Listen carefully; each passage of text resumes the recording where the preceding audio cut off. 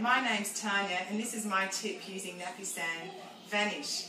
Well, I love my whites being really white, um, so sometimes when they're looking a little bit yellow or a little bit dull, and even if I've got a stain on them, what I do, I always do, is soak them in Napisan either overnight or a few hours in a bucket just like this.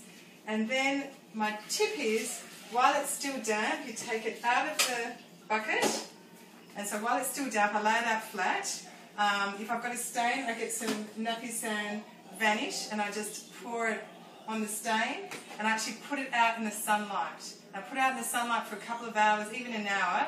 There's something about the UV rays from the sun that works with the Napisan and then I throw it in the wash and it's amazing. The whites come up really white.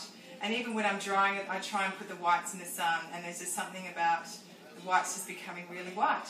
So that's my tip. Thanks very much. Bye.